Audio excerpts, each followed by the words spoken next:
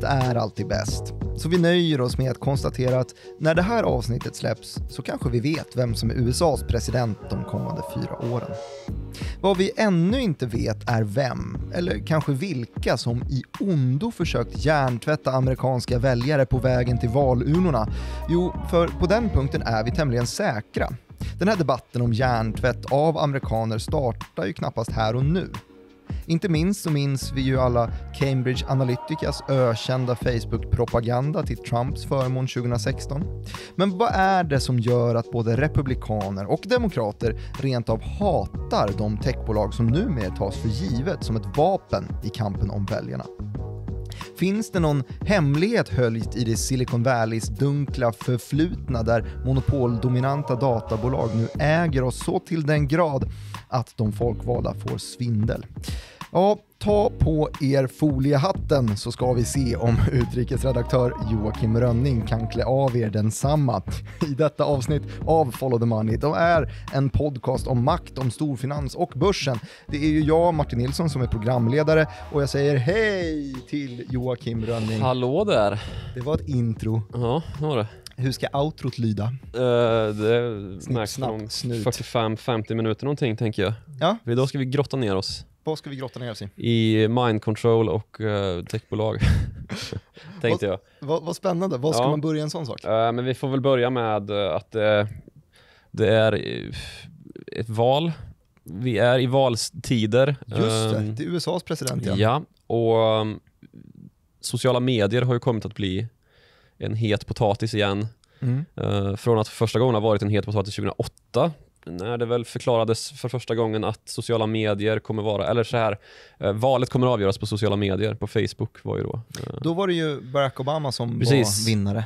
eh, yes we can och den här uh, Hope-affischen som eh, Mm. alla minns, som är lika gamla som jag i alla fall. Mm.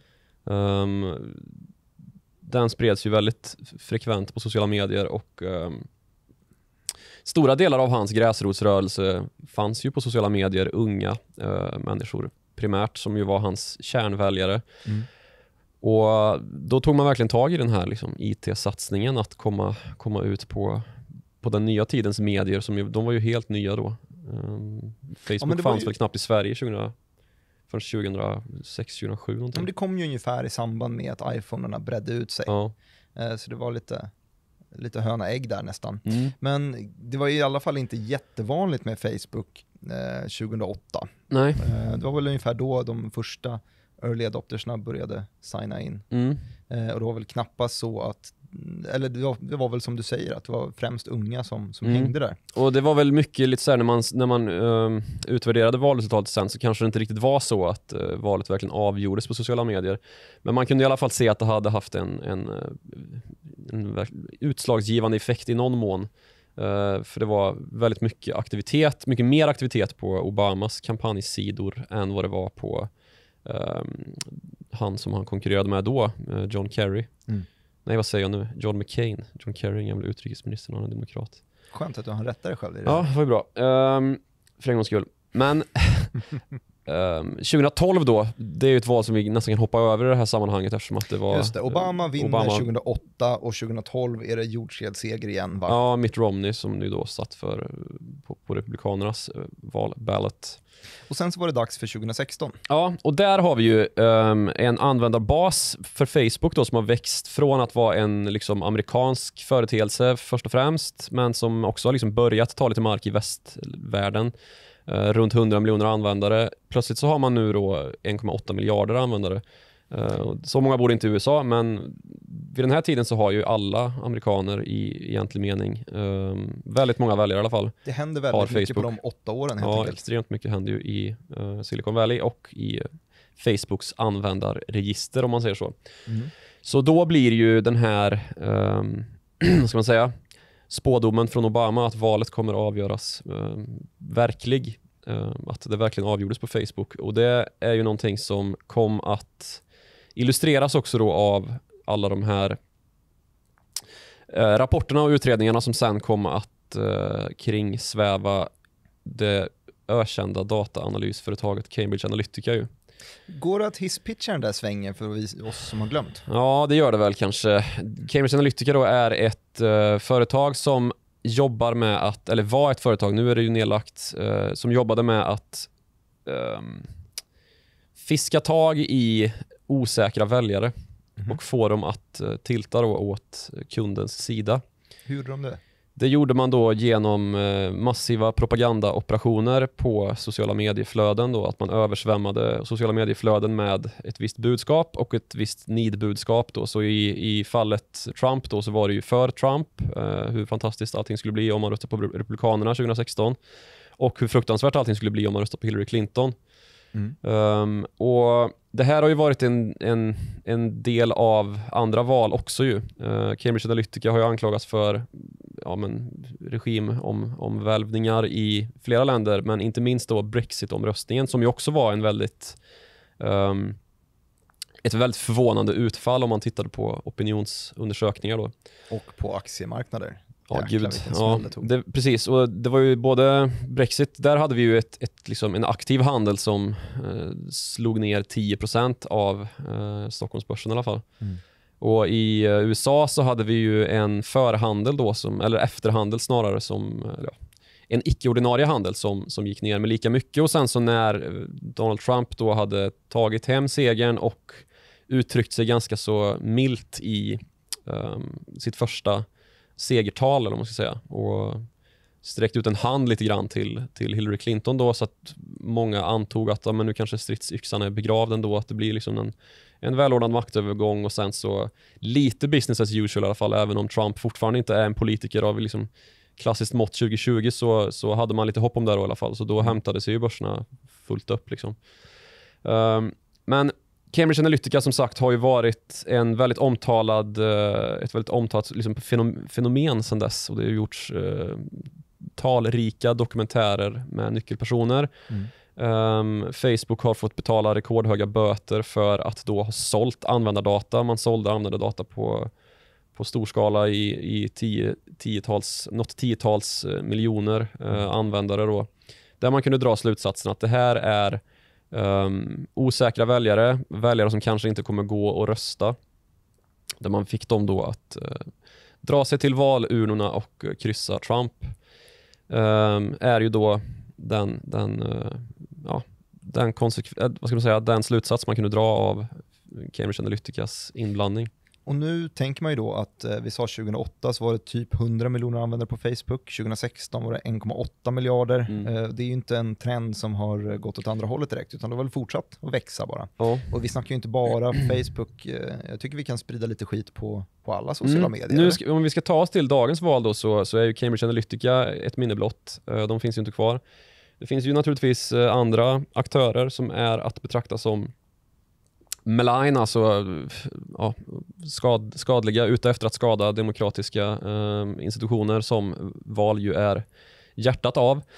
Mm. Um, nu kanske det mer handlar om uh, främmande makt än, än enskilda företag Ryssarna har snackats om här, Ja, det, det, gjorde det ju förra gången också såklart. Uh, förra valet. Kineserna pratas det mycket om, Iran och uh, Nordkorea i viss mån. Mm. Um, men det är lite otydligt nu vem, vem man bettar på. Liksom. Um, ja, lite, lite grann att Kina kanske har förmån av att eh, få in en Biden i Vita huset. Ryssarna kanske hellre vill att Trump sitter kvar.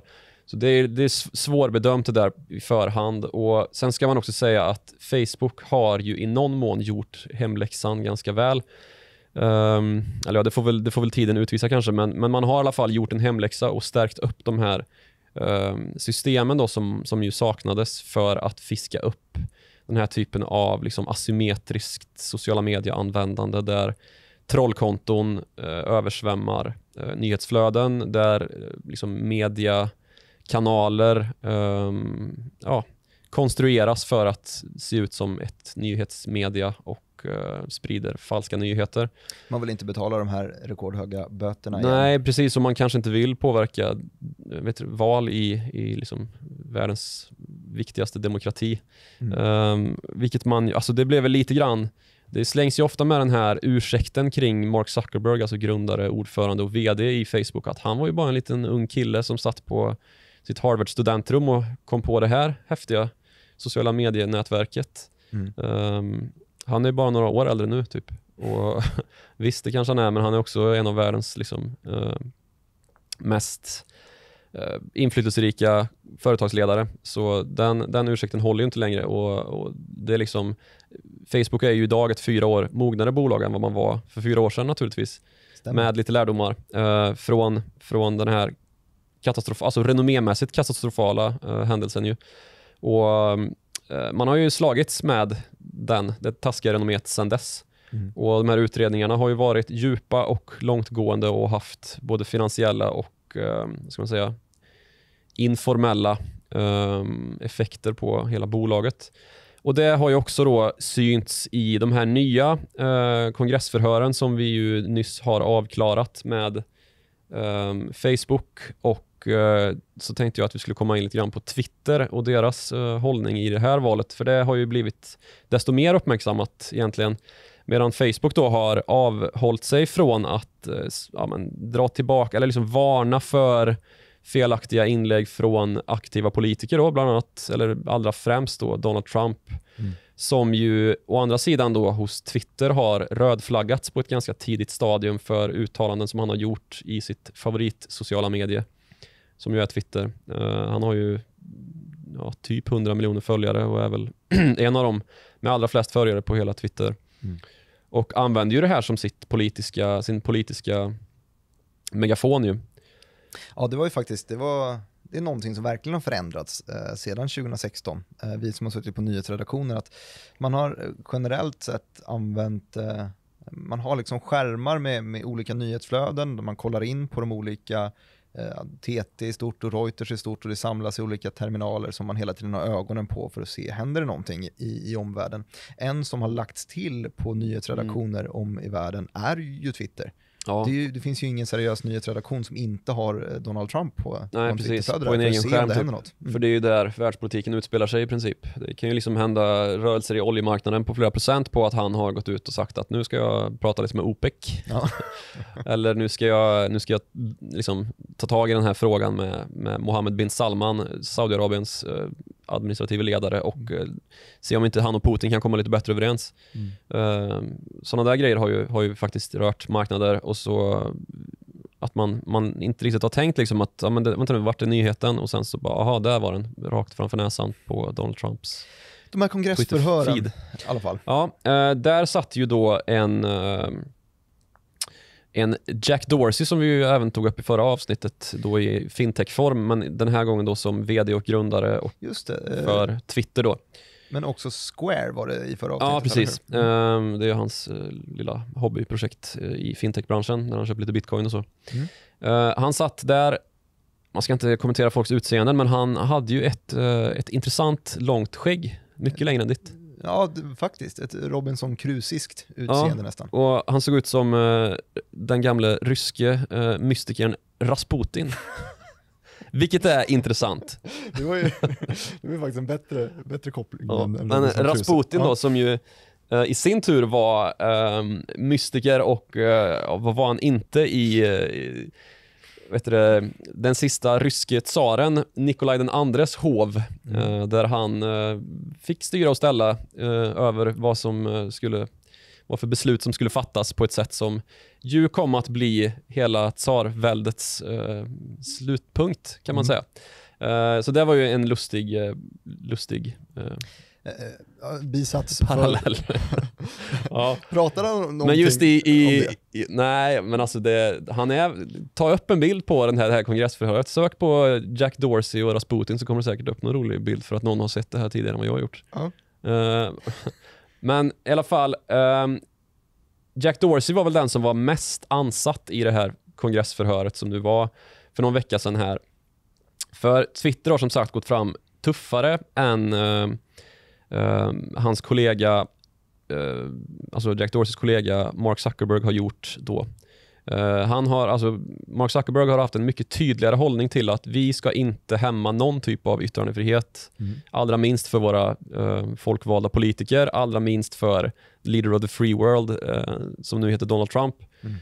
Um, i den här Så någon form av valupptakten. superliberal eh, Ja, det får man ju ändå säga. typ. Och att man då, ja det är väl kanske lite av hemläxan man har gjort då, att man inte ska vara där och peta och påverka och göra så lite som möjligt i sin affärsmodell. ehm, som kan då anklagas för att, hallå, varför ska ni bestämma det här? Det är ju, det är ju yttrandefrihet. Och den linjen har ju som sagt inte Twitter hållit då, utan man har tidigt gått ut. eh, det började väl egentligen med första rödflaggan som man satte på ett inlägg från Trump då i samband med protesterna mot eh, George Floyds eh, ja, död i polisförvar. Mm. Ehm, där han då uttryckte sig på ett rasistiskt sätt. Ehm, When the looting starts, starts the shooting starts. Eh, det är då ord som nyttjades frekvent av ehm, ja, men uppenbart rasistiska polischefer under eh, ja, tidigare, tidigare i historien. När vi hade ett mycket mer eh, rasistiskt USA också.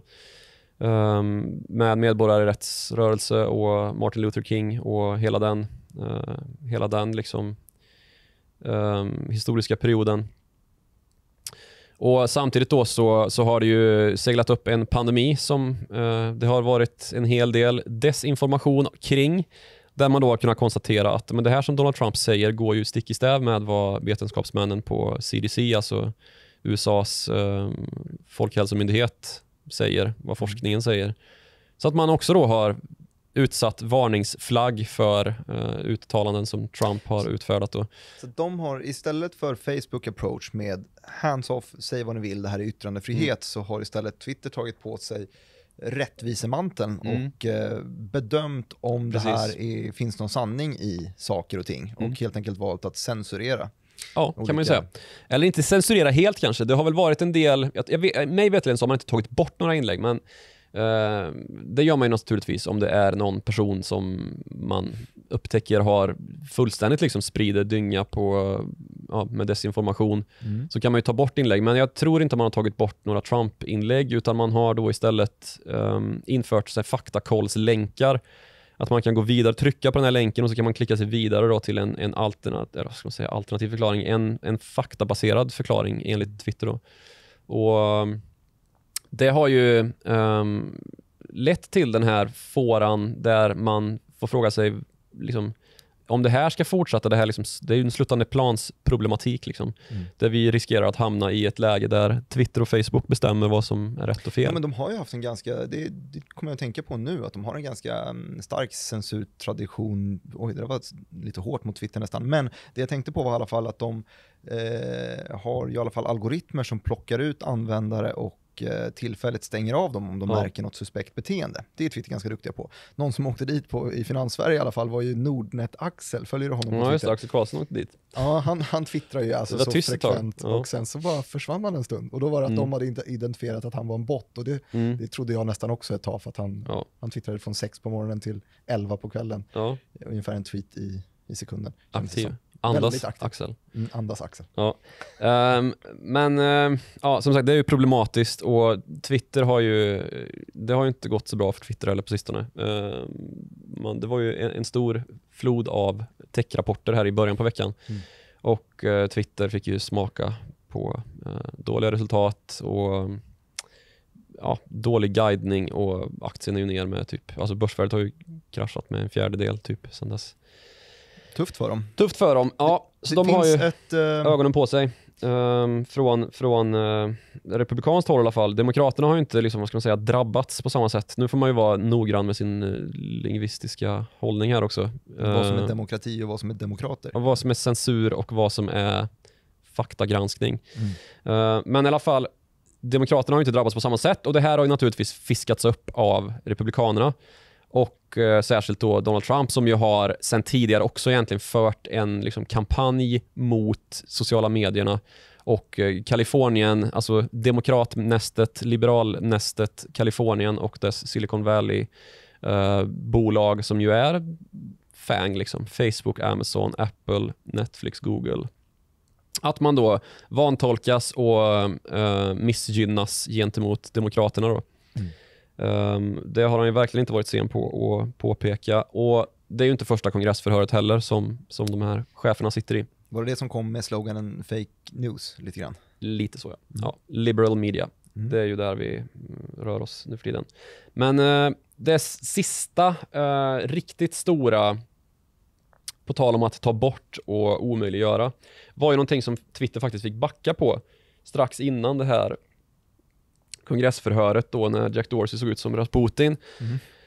Det är ju den här ökända artikeln i New York Post som det har blivit någon typ av um, ja, härdsmälta kring i eh, den amerikanska, media, den amerikanska medievärlden. Berätta, vad, vad hände där? Ja, det är ju då en artikel där New York Post eh, skriver att en datarep- datorreparatör i eh, Joe Bidens och även Hunter Bidens hemstat Pennsylvania. Vem är Hunter Biden här? Hunter Biden är Joe Bidens son och Joe Biden är demokrat, vad säger kandidaten, vet alla. Mm. Hunter Biden är alltså hans son och hans son har det ju också varit väldigt mycket eh, rykten om och Mm. väldigt mycket, alltså Donald Trump blev ju ställd, nästan ställd inför riksrätt på grund av eh, att han försökte dig dirt on the Bidens i Ukraina ju.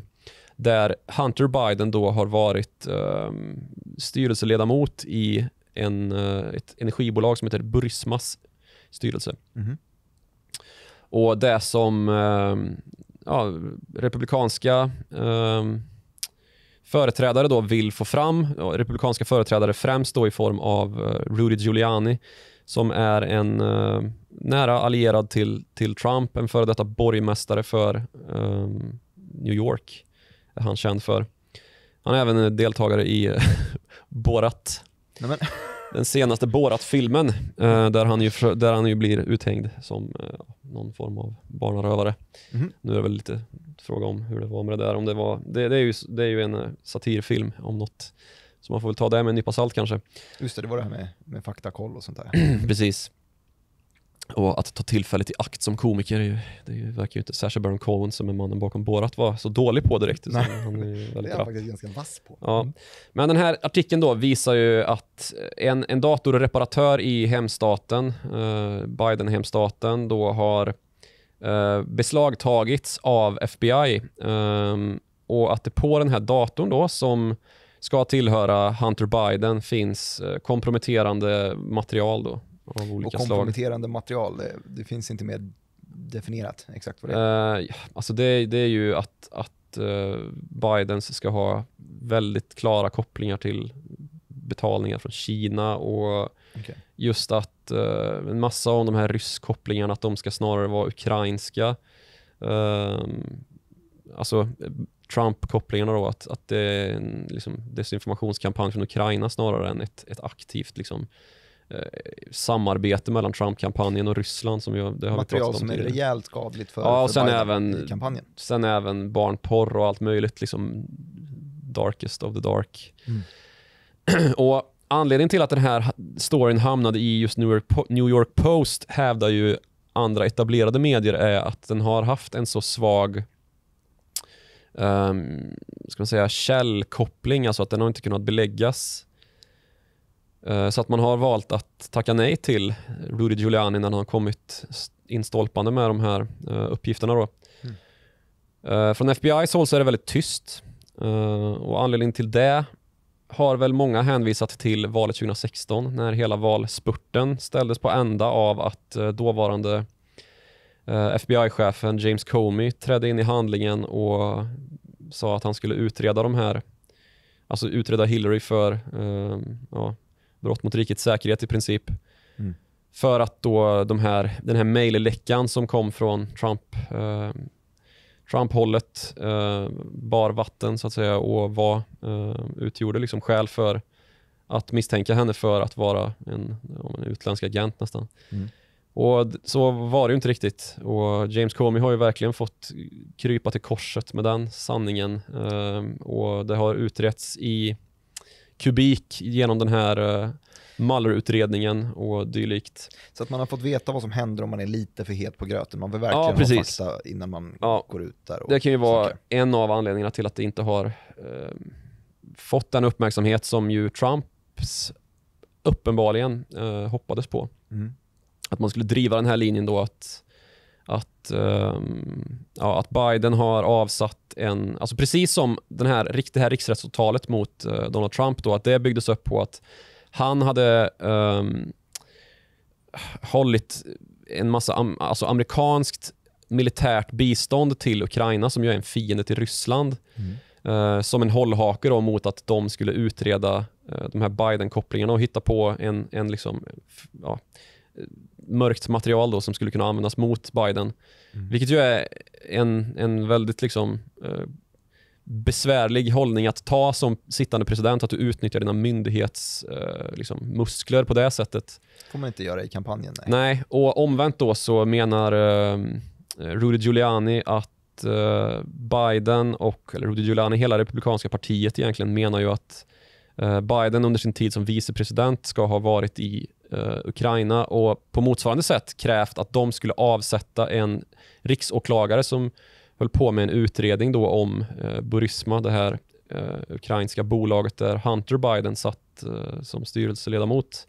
Problemet är bara att den här utredningen gällde en period innan Hunter Biden hamnade som styrelseledamot och anledningen till att den här Eh, riksåklagaren faktiskt avsattes sen är en, liksom, eh, en, en slående majoritet i en omröstning i det ukrainska parlamentet. Och eh, Det här var också en hållning som både EU, och Världsbanken och IMF hade till den här eh, åklagaren som då anklagades för att vara korrupt. Och Den motbevisning som Hunter Biden för övrigt då kommit med är ett, ett uttalande som han och eh, Lev Parnas, en annan uppsatt Trump-lierad, eh, ligger bakom eh, tillkomsten av. Så att det är eh, knapphändiga uppgifter som talar till eh, Trumps förmån där. Men det här har ju naturligtvis lyfts fram och eh, om man inte skrapar på ytan så låter det ju som att Biden är fullständigt korrupt. Och eh, ja, det, det är det här spelet, vi, den här liksom, terrängen vi rör oss med eh, i det här valet också, eh, kan ju krasst konstateras. Eh, den här terrängen, då menar du alltså de sociala medierna som Precis. Och det som hände då med Twitter och den här New York Post-artikeln var då att man stoppade länken helt enkelt från att delas, den här New York Post-länken. Mm. Ehm, och det är ju de facto att censurera ett, ett eh, ja, anrikt mediaföretag, är väl kanske att ta i. Alltså, Det är inte New York Times utan det är... Nej, det är inte New York Times, det är New York Post. Och New York Post är ju en kvällstidning, eh, mer skvallerrelaterad blaska än, än vad liksom, de stora eh, granskande nyhetsmedierna är. Och som sagt, det var ju flera av dem som hade tackat nej till den här publiceringen och då är naturligtvis mothugget att nej, men ni är ju liberala, ni går ju liberala ledband så att det är inte så konstigt att ni inte vill publicera. Eh, men när Twitter då blockerade den här länken så fick man ju till slut uh, krypa till korset, på tal om det, eh, och faktiskt be om ursäkt för att man hade gjort det. Eh, Det var en av de grejerna som Jack Dorsey, Rasputin, satt och sa i kongressförhöret. Men nog om de två bolagen som ju är de riktiga sociala mediebolagen egentligen. Eh, mer om det tredje bolaget som ju faktiskt var med vid det här förhöret i form av eh, Google. Ja, eh, och för lyssnarna då kan jag berätta att det är alltså Alphabet. Vi hade ett skämt eh, internt här om, Mm. om Alphabet och Google innan. Ja, Alphabet är ju då i moderbo- Googles moderbolag, för Google utgörs ju av en massa bolag som vi ska komma in på lite senare. Så är det ju. Eh, Men allmänt känt som Google, Mm. sökmotorn ju. Just det. Och, Hur är eh, de inblandade i Ja, det här? precis. Google, vad gör de där? De är ju inget socialt media. Nej, det är de inte. Men de är ju internet i princip. Ja. Eh, sökmotorerna, eller sökmotorn eh, framför andra. Jag vet inte ofta du bingar någonting. Nej, det, de är ju grundare till begreppet googla då, Google. Mm. Och eh, jag googlar ju hellre än bingar, så är det ju. Ehm, och eh, det kan man ju ganska enkelt förstå varför det här spelar någon roll ehm, i, i kampen om information. Att eh, säga att du skriver in sökordet ehm, vem är bästa presidentkandidaten så kommer du få ett översta alternativ som har en åsikt om det här. Ja, lite så. Och lite beroende på hur algoritmerna är, är eh, skruvade så Mm. Eh, ändras ju resultatet där. Och det, Ja, det om... bästa, tycker jag, praktiska exemplet är att testa att skriva in ett sökord vilket som helst. Först i Google, sen i Bing, sen i Yahoo, sen i Alta Vista om de finns kvar. Nej, jag tror inte de gör det. jag tror inte de gör det. Det var sökmotorn när jag var, föddes på internet. Jag kommer ihåg att jag körde mycket Evreka. Eureka. Mm. Kom du fram till det du ville? Ja, men hyfsat. Ja, jag. härligt. Ja, men då skiljer sig i alla fall resultaten, är det jag ville komma fram till, Ja. beroende på vilken sökmotor du skriver in i. Mm. Och det är ju såklart det är opinionsbildande på något Ja. sätt. Precis, och det här problemet är ju ett av flera som, eh, och framförallt då hur, hur Google drar nytta av deras eh, data eh, som man ju då inhämtar bland annat från just sökmotorn, allra mest från sökmotorn. Eh, och där hela affären grundades ju Um, genom att man, ja, vi vet vad folk söker på, vi vet vad folk har för, um, ska man säga, um, vad folk favoriserar, vad folk vill, uh, vill veta saker om och det finns ju en hel del affärsmöjligheter i det ju. Mm. Så det har ju lett till en annan kongressledd ska man säga, sak som vi inte ska blanda ihop det här kongressförhöret uh, som vi pratade om i förhållande till Twitter och Facebook där också Google var med. Mycket kongressförhör nu. Ja, men det är ju då den här utredningen som nu genomförs som kan leda till att face, äh, Google bryts upp. Att äh, sökmotorn inte längre får vara världens främsta äh, sökmotor som sitter ihop med ett bolag som är så stort att om man köper aktien så köper man egentligen en fond. Mm. För att det är så mycket företag i Google som ju håller på med helt andra saker än en sökmotor. Belys den där problematiken då. Varför skulle man vilja dela upp Google? Um, ja, det är ju då att konkurrensen hämmas så uh, infernaliskt av att det bara finns ett alternativ som är tillräckligt bra. Mm. Och Det är som sagt, uh, det är ju ingen som håller på med Bing och Yahoo, utan det är ju Google man går till. Det är därför det heter Googla. Mm. Um, Bing har ju försökt få in Binga. Ja. uh, någon, vad heter den? Um, Crime Scene Investigation, CSI. Ja. Huvud, huvudrollsaktören där fick uh, uh, CSI-skaparna fick betalt för att huvudrollsaktören skulle binga någonting ett par gånger i varje avsnitt. Det var väldigt roligt. Dåligt, funkar ju inte dramaturgiskt. Wait a second, let me bing that. Ja, exakt så sa han, hela tiden. Jag har bara sett två avsnitt i och för sig, men ja. Ja, hela tiden sa han i de två avsnitten. Mm. Um, men i alla fall. Men det här är ju inget ovanligt, nej. vill jag mena. Det här att det man, man, spekulerar i att man behöver dela upp ett, ett stort eh, monopol egentligen.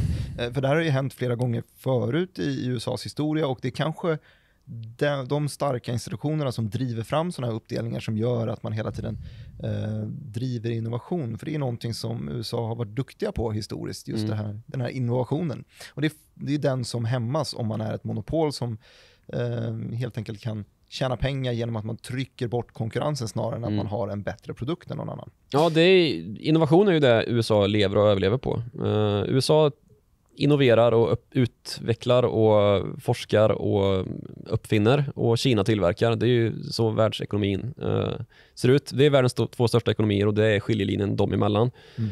Uh, först och främst. Sen så finns det ju andra också naturligtvis. Vad har vi för, uh, du som gillar historia, kan inte du uh, hoppa in och ge oss lite exempel på I monopol. monopol som Monopolfältet. Inte, ja, som delades upp. Ja, det första riktigt stora monopolcaset um, är väl egentligen oljemonopolet, Standard Oil, mm, som det. bröts upp 1911 till 30-ish bolag och blev alla de här uh, oljejättarna, bland annat Exxon och Chevron härstammar ju därifrån. Marathon Oil också. Um, sen hade vi 1980-talet, 82 kanske? 83? Nej, jag kan inte faktakolla dig så jag, jag, vet inte. Det får lyssnarna fortsätta med att göra. Ja, det får de göra. Um, där hade vi ju då Bell Corporation mm som blev bland annat AT&T. Bell, du vet Alexander Graham Bell som uppfann... Uppfinnaren. Kanske uppfann telefonen. Mm. En av flera som uppfann telefonen. Um, och sist då, men absolut inte minst, så har vi ju uh, Microsoft som hamnade i klammer här i början på millenniet. Mm. När man då beslutade sig för att um, Alltså man kom fram till en deal då där man eh, öppnade upp sin infrastruktur, sin mjukvaruinfrastruktur.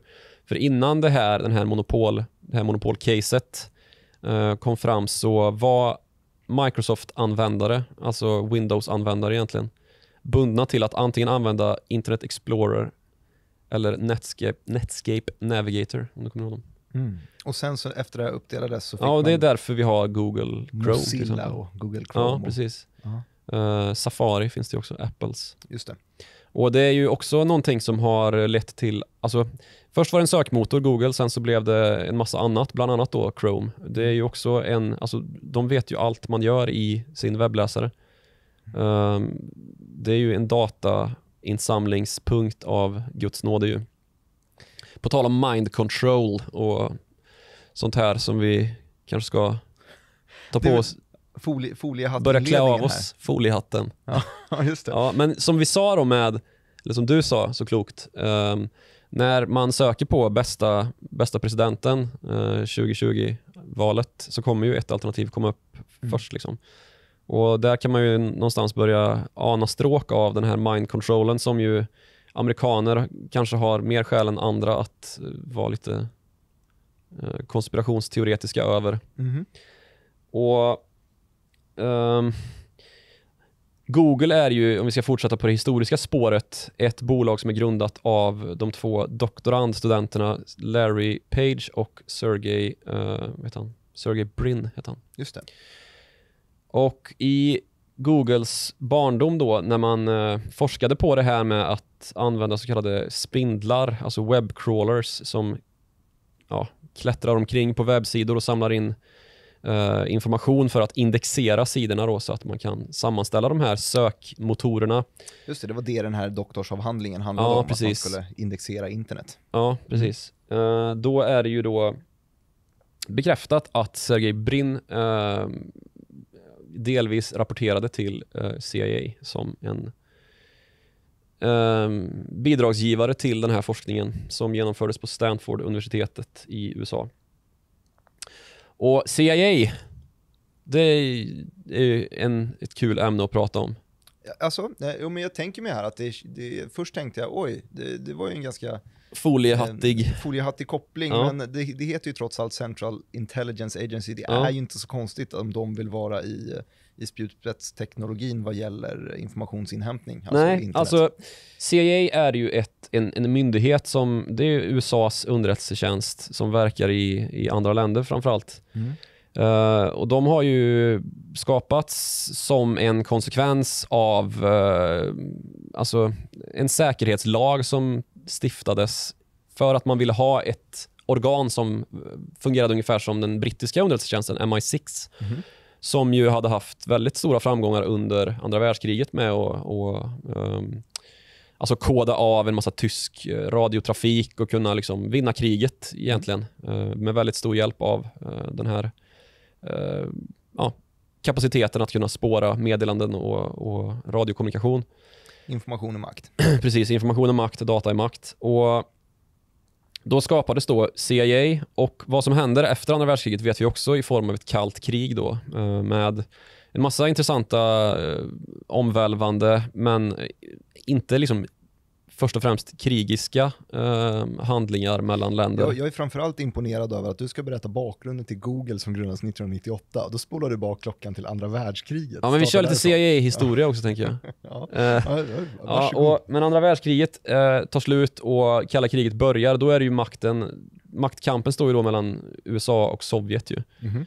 Och Sovjet är inte så oävna på det här med utveckling eh, som kanske kineser har visat sig vara, Kina, inte kineser. Eh, och det, det inträder ju här en, en rymdkapplöpning Mhm. eh, där Sovjet länge ser ut att dra längsta stråket. Man är först upp med satellit, man är först med människa i rymden, Yuri Gagarin och ehm, satelliten, vad heter den? Sputnik. Så heter det nog. Och sen Ja. så kommer väl en Laika där någonstans också. Ja, en hund ja, just Mm. det. Rymdhunden. Stackars Laika, Mm. dog i rymden. Verkligen. Ehm, sen så har vi också då i, eh, på amerikansk mark så är ju den stora skräcken kommunistskräcken ju. Man börjar jaga kommunister hej vilt. Och en rätt betydande anledning till att man gör det och på det sättet man gör det är ju att man går på Hollywood. Det är inte bara så här att man, att man jagar efter eh, alltså Bill Browders gamla, gamla anfader. Eh, hans farfar var ju den, första, eller den största kommunistpartiledaren i, i eh, USA. Det kan man lyssna mer av i vår Våra, som, våra sommartrilogi. sommar, sommartrilogin om Ja. Bill Browder. Ja. Eh, men, eh, utan också då att man, man, man börjar misstänka att det pågår eh, eh, hjärntvätt från sovjetiskt håll och att man också har tagit sig mycket längre i sån typ av vetenskap, alltså vad ska man säga, fysisk, alltså biologisk, mänsklig, eh, humanbiologisk Mm. forskning, att man kan eh, ja, styra folks hjärnor, eh, mind control. Okej. Och att då det här görs genom kändisar i Hollywood som ju sitter som väldigt centrala figurer i det eh, propagandanätverk som ju faktiskt är Hollywood som man förde ut amerikansk kultur med över hela världen. Eh, Det här känns ju som det foliehattigaste vi har tagit upp i podden någonsin. Fast det är det inte. Nej. Det här är liksom USAs form av eh, kulturell krigföring har ju varit Hollywood som ett verktyg. Liksom. Det är inte så att eh, CIA nö- nödvändigtvis har suttit och dikterat villkoren för hur Hollywood ska se ut i andra länder. Men det har blivit liksom, praktiken för att föra ut den amerikanska eh, kulturen. Ju. Mm. Det är ju därför vi känner oss så hemtama med att sitta och titta på eh, Hollywoodfilmer. Det är därför vi pratar så himla bra engelska och dylikt. Lyssna på amerikansk musik. Liksom. Just det, och du har en schysst, schysst amerikanare hemma också, hemma i Värmland. Eh, nej, det har jag inte. Nej. Vad vill du säga med det? Nej, ingenting, jag ville bara vara syrlig. Ja. Ursäkt. Ja, precis. Och um, här någonstans så börjar ju också CIA kunna konstateras eh, med en del alltså konspirationsteoretikernas favoritkonspiration som ju faktiskt visade sig stämma. Mhm. Eh, det så kallade MK Ultra-projektet. Som är, Ja, det är då när CIA eh, bestämmer sig för att man ska komma ikapp Sovjet då, som eventuellt kan styra folks sinnen, alltså mind control. Mhm. Eh, man har kommit så långt i sin hjärntvättskapacitet att man eh, kan bestämma vad eh, Hollywood ska propagera. Mm. Och man genomför de här McCarthy-utredningarna mot kommun- påstådda kommunister i, i eh, Hollywood.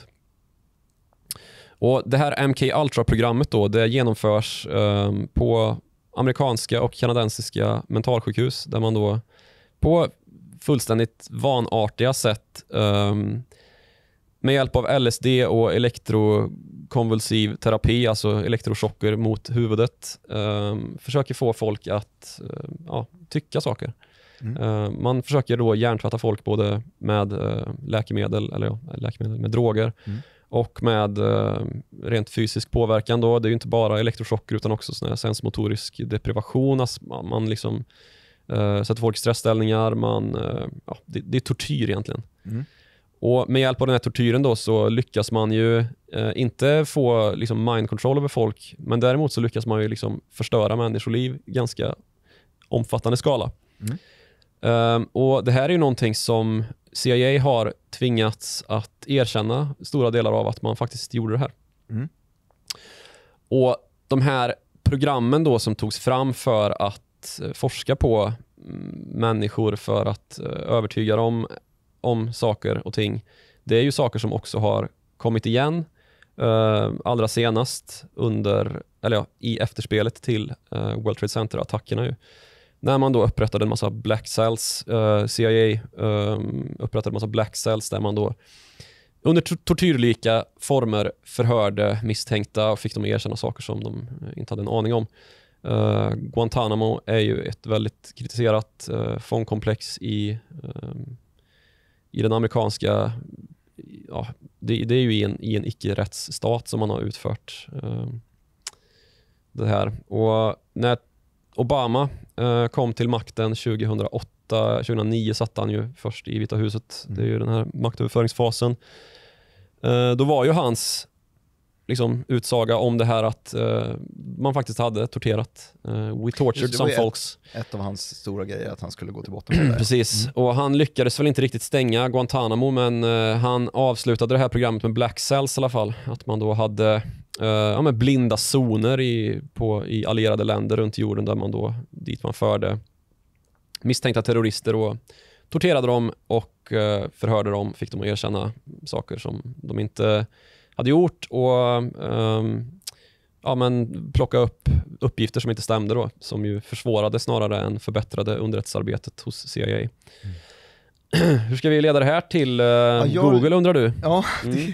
Det är ju då för att fråga. vi har pratat tidigare om att vapenteknik är ofta där ny teknik oftast hamnar först. Absolut. Ehm, det gör ju då att det finns ett väldigt intresse från CIA att faktiskt ehm, driva på den här utvecklingsförmågan Mm. som ju i amerikanskt ehm, avseende är bestående i forskning som ofta görs eh, i universitet eller privata ehm, bolag. Mm.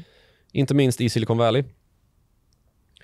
Och där man har ehm, eller hur man, hur man då har gått tillväga för att driva på den här forskningen är ehm, myndigheten DARPA som står för Defense, um, ska säga, Defense Advanced Research Project uh, Agency. Där har vi det. Och, och, och oavsett akronym, så vad gör de? De ehm, verkar egentligen för att sprida en budget på olika tekniska projekt. Just det, Eh, de ska och det här är då, identifiera eh, projekt som eh, skulle kunna hjälpa eh, USA i, eller Ja, CIA precis. i, eh, i underrättelsetjänstarbetet och i spjutspetsteknologin och investera pengarna och se till att eh, man kan få ta en del av den här tekniken. Ja, precis. Och det här är eh, ofta ganska så teoretisk forskning. Alltså, det är, man försöker uppfinna grejer som inte finns. Mm. Och där man ofta, eh, alltså de här, de här upphandlingarna, vad man ska säga, man sätter ju nästan ut som prispotter där eh, bolag och forskningsinstitut och universitet och liksom stu- doktorsstudenter kan anmäla sitt intresse eller tävla om de här kontrakten då, som det ju i praktiken blir. Mm. Ehm, det är ju väldigt, liksom, väldigt liksom science fiction-aktigt. Ehm, man försöker hitta på ett sätt att just kunna styra en dator med hjälp av tankar. Det handlar om eh, chip som man ska kunna plantera in i, i kroppar, alltså mänskliga kroppar. Och så naturligtvis väldigt mycket robotutveckling eh, utveckling och dylikt. Men det handlar också om att indexera internet. Precis. Och där har vi kopplingen Där till har vi kopplingen till Google. Sergey Brin och Larry Ja, Page. exakt.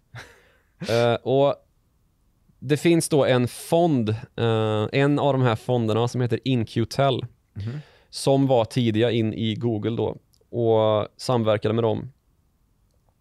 Bland annat genom att man gick in i ett bolag som hette, hette eh, Keyhole inför det att man skulle bedriva kriget mot Irak i det så kallade Iraqi, Operation Iraqi Freedom Mhm. som startade 2003 när man skulle avsätta Saddam Hussein som ju var en av axelmakternas diktatorer. Mhm. Ehm, och Det här bolaget Keyhole då användes som en... eh, de har, de har då samlat ihop geografisk data, offentlig geografisk data och upprättat en modell över hela länder, hur de ser ut och vart det finns vägar, hur byggnader ser ut. Ehm, Google och, Maps helt enkelt. Ja, det är det som blir Google Maps sen. Spännande. Det är det som Google köper i, efter Irakkriget. När bolaget är fullt utrustat med rätt mycket CIA-operatörer som då sitter och driftar det här eh, kartsystemet som har använts i den här invasionen av Irak.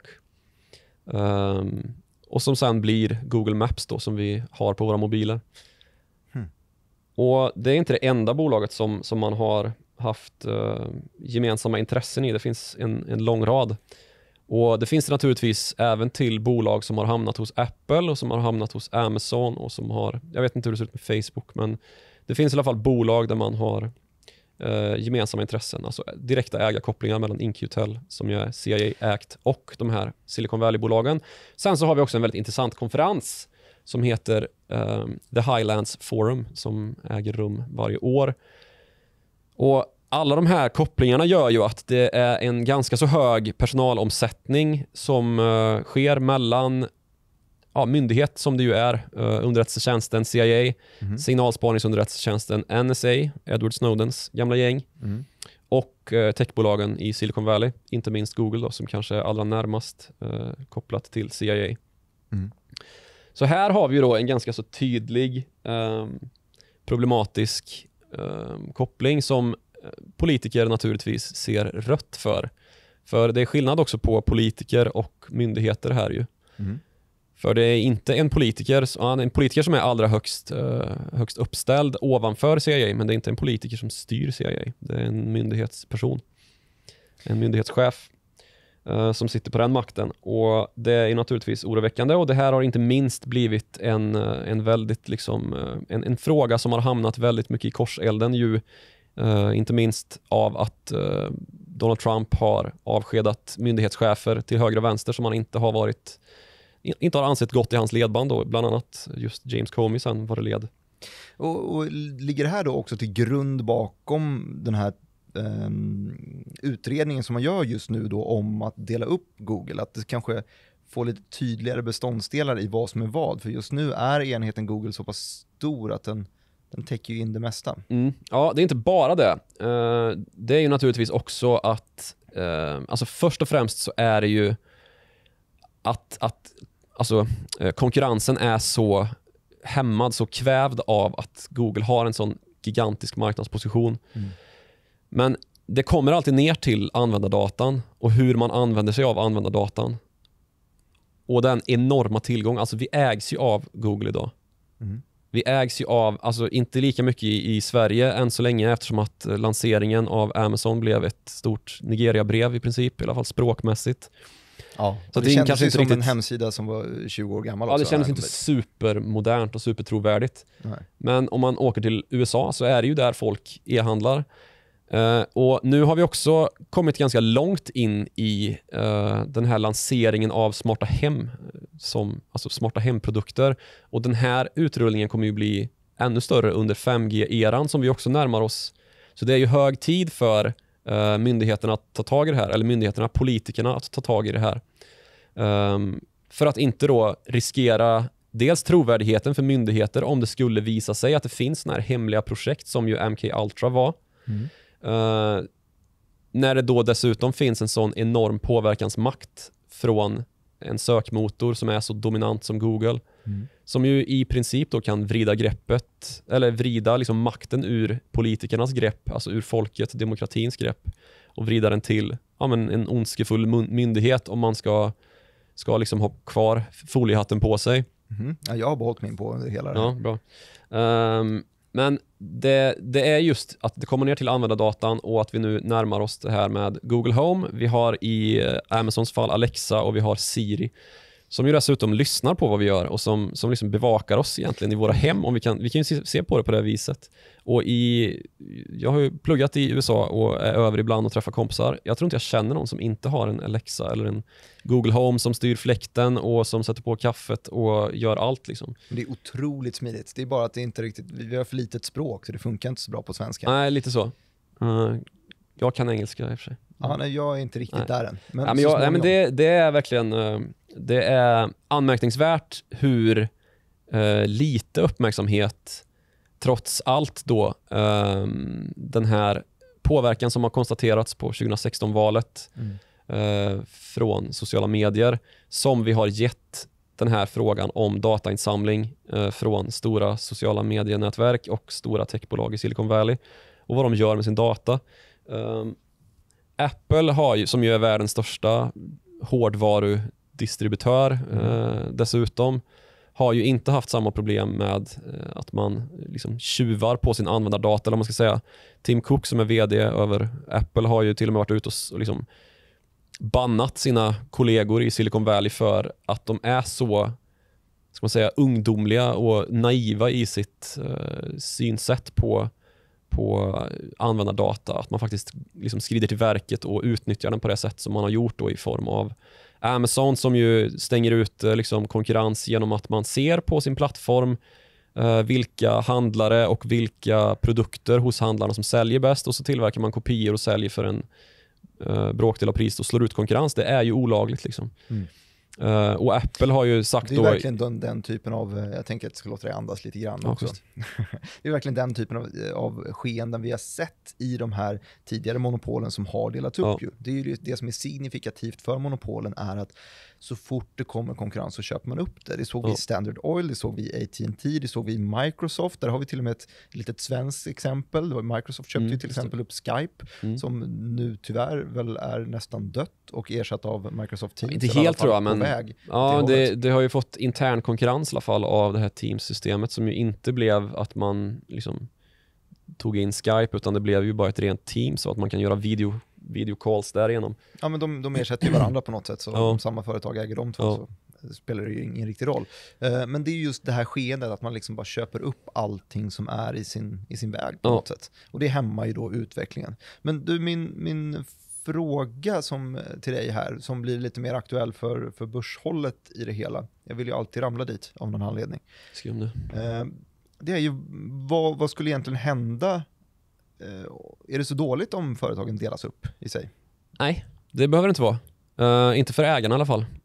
Alltså det finns ju vissa skillnader som gör att det är kanske troligare att vissa delas upp än andra. Eller Mm. att det blir mindre, alltså mer smärtfritt för vissa att delas upp än andra. Mhm. Och Jag tror att Google är ett sånt exempel på ett bolag som kanske kan delas upp ganska så smärtfritt. Varför då? För att de har ganska tydliga beståndsdelar ändå. Eh, Sökmotorn är en del, eh, Chrome är en, är en del, man har liksom eh, självkörande bilar i Waymo, Mhm. man har Google Home, Ehm, Du menar att man skulle kunna dela upp dem och låta dem vara olika ja, företag? vara separata bolag. Ja. Men då tappar de väl synergierna mellan företagen sinsemellan? ja, så kan det ju vara, men man, man, man har inte, alltså det största anledningen till att jag tror att det här, dess, alltså utöver att det är ett väldigt liksom det är lätt att göra skillnad inuti bolaget, Mm. så har man inte heller samma ägarbild som man har i Facebook och eh, Amazon framförallt. Där man har just riktigt starka Ja, alltså där det är en grundare som sitter på tre dubbla stolar liksom. Ordförande, vd och huvudägare. Ja, ja fyrdub, kvadrupla eh, som grundare också då dessutom så att man har det som sitt skötebarn liksom. Eh, en emotionell koppling som kanske inte eh, Googles vd eh, Sundar Pichai, Pichai har och eh, samma med, eh, med Apple då som ju Tim Cook har tagit över Mm. eh, efter Steve Jobs död. Där tror jag inte det blir lika liksom, blodigt. eh, att man kommer, man, jag tror inte man kommer gå lika långt i... Det är ingen som vill, alltså utåt sett så är det ingen som vill dela upp sig. Men man har ändå kunnat se liksom att eh, bolagen mer och mer särredovisar sina olika liksom, delar av de här konglomeraten som det ju är. Just Jag det. täckte Googles rapport ehm, här tidigare i veckan. Och då la jag märke till att det, man för första gången särredovisar Google Cloud som en egen enhet, alltså IT-molntjänsterna, datacenterverksamheten. Lägligt. Ja, verkligen lägligt. och i Amazons fall då så har man ju särredovisat ett bra tag och det är väl just för att verksamheterna är så pass skilda åt. Just det, I- där är det Amazon Web Services Ja, precis. Där har man ju e-handel och så har man Amazon Web Services och sen så har man en massa andra. Man har ju, alla de här bolagen har ju av någon anledning intresseandelar i fordonsbranschen Mm. eh, med autonoma körsätt och mjukvarudelen Där av... har vi faktiskt en annan, nu blir det lite en annan grej, det är inte en monopoluppdelning men det är i alla fall ett bevis på att, att avknoppningar ibland är ganska lönsamt Mm. eller företag självmant vill göra dem. Och när det sa eh, autonoma ehm, Fordon, bilar, ja. fordon, så kommer jag att tänka på Autoliv som knoppar Mm, av det. Veoneer Mm. till exempel. Det var ju ingenting som de var tvingade att göra men det var någonting som de, de ville för att verksamheterna Mm. skulle må bättre i, på sina enskilda Precis. håll. Eh, vi kan väl komma tillbaka dit ganska snart, men om man ska titta i historien då så blev i alla fall Standard Oil då uppdelningen när man sprängde Standard Oil till över 30 olika bolag. Mm. Väldigt lönsamt för de som gick in med lika stora potter i varje av de här, varje aktier då som blev eh, som kom till då efter Standard Oil. De blev lite mer, mindre, snabbare, flexibla. Precis, snabbare, flexiblare, det blev mer fokus på det man skulle göra. Eh, ta Amazon nu till exempel så, så bär ju Amazon Web Services som har enorma marginaler uh, merparten av lönsamheten i, i, den, i det bolaget ju. Och om man frågar Amazon Web Services folk så är ju inte de superglada över att behöva kasta över pengarna till investeringar i e-handelsplattform liksom. Eller i Nigeria-brevsutrullningar i Sverige för den delen. Um, det kommer man ju undan då och kan fokusera på sin produkt och göra sin produkt bättre och där har vi ju liksom hela kärnan av problemet att konkurrensen är då inte längre stävjad. Och det framförallt gör ju då myndigheterna glada. investerardelen så det gynnar i alla fall oss.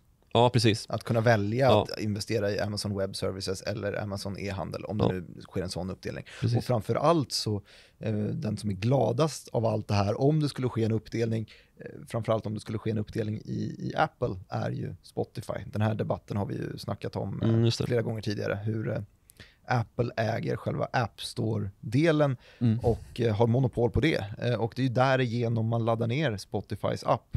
Och sen så har ju då de haft den här, eh, Intäktsdelningsfunktionen ja, att, att eh, Spotify får betala 30% av alla intäkter man har till eh, ja, in-app-intäkter till Apple och raka, ner, raka vägen ner. i rent praktiskt så blir det ju så istället nu att så fort man klickar på köp i sin app i, eh, som man har laddat ner via App Store så hoppar man ur appen, ram, landar i en Safari-webbläsare istället, också Mm. ägs av, av Apple kanske.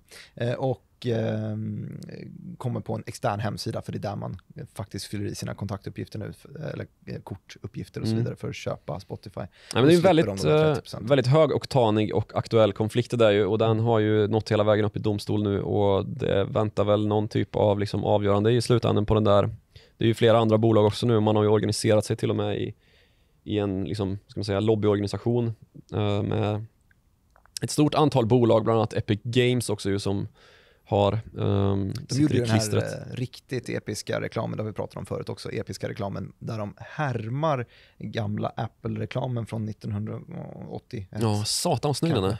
Ja, den är cool. Eh, Kanske vi kan länka någonstans. ja, och så har de liksom gjort om den i Fortnite-anda istället. Eh, För det är ju Epic då som gör Fortnite. exakt. Ja. Eh, och Apples lilla, eh, vad ska man säga, budskap med den filmen var att de var liksom up and coming och eh, förstörde dem och fightades mot den här stora jätten som då var Microsoft. Mm. Eh, och eh, nu blir det istället Fortnite som fightas mot den stora jätten som numera har blivit Apple menar de med den här reklamen. Då. Mm.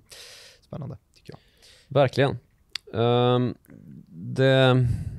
Nu Nu har vi pratat så länge. slut på luft. Ja, ja, men jag med. Orden är slut, Joakim Rönning. Vi har gått så här om vi kan säga. Eh, det här blir ju kanske det mest, jag säger det ungefär varje avsnitt, Ja. att det här blir det är det. svåraste, svår, mest svårsammanfattade avsnittet någonsin. Men vi började faktiskt i närhistorien 2008, där eh, valet innan Barack Obama tog eh, platsen på eh, i Vita huset. Ehm, och sen 2012 gick vi igenom det valet eh, som vi ägnade en sekund åt ungefär, för det var ganska odramatiskt. Men sen kom vi fram till 2016 som var det första valet där sociala medier spelade en extremt stor roll, för då hade ju Facebooks användarbas växt från 100 miljoner 2008 till 1,8 miljarder eh, 2016 Alla amerikaner fanns där. alla amerikaner fanns där och det var lätt att targeta dem och det syntes sen i Cambridge Analytica-skandalen där eh, Eh, Facebook till exempel fick betala stora bötesbelopp. Och nu står man ju nu inför ett val som när det här avsnittet släpps, som vi har nämnt, kanske vi har en, eh, en färdig president, vi vet vem som ska sitta de nästa fyra åren. Men debatten kommer ju komma upp då igen, eh, har folk blivit påverkade och i vilka kanaler? Och då har vi gått igenom de olika kanaler och utmaningarna de står inför, inför egentligen, de som har växt så pass mycket. Vi snackade Facebook, Twitter, Google, Apple, Amazon, eh, fangbolagen egentligen. Mm. Eh, Microsoft nämnde vi, men tillåts inte riktigt vara med i fangbolagen för de har lite annan natur och har redan gjort en Och Bill uppdelning. Gates är en sån good guy. Han är en sån good guy så han slipper. Mm. Eh, men, och så identifierar vi då att ja, den som kanske är mest sannolikt att delas upp eh, här. Och som har kommit längst i den myndighetsutredningen, eller längst i, i den processen, är Är. Google. är just Google. Och hur det påverkar marknaden? Ja, eh, det blir väl tydligare konkurrenser eh, sinsemellan, eh, olika företag. Det blir utveckling vad det lider. Kanske mer innovation så småningom. Mm. Det vore väl spännande Så går också. vi in i ett 5G-race med smarta hem och Ja, konspirations... fett att bara äga teorier cloud som kommer- då i så fall. flöda. Mm. Vore mäktigt. Eh, Joakim Rönning, eh, det har varit eh, ett nöje. Har du fått av dig din foliehatt? Jag tar av den nu. Eh, och för foliehatt behöver man inte ha på sig eh, när vi sprider information om eh, våra kontaktuppgifter. Man når oss ju till exempel på eh, followthemoney at direkt.se är vår e-mailadress Mm. som går till oss båda. Eh, Vi har Och också har man Twitter så kan man ju kontakta programledare Martin Nilsson på snabla direktmartin. eller utrikesredaktör Joakim Rönning på snabel-a Joakim Gud Ronning. vilket tajt slut det blev. Ja, tack så mycket. Hörni, ha det så otroligt bra. Skicka en kommentar på YouTube-klippet, skriv en recension på iTunes eller ert favorit tech-konglomerats app. Eh, så ses vi igen om en vecka. Ha det så fint.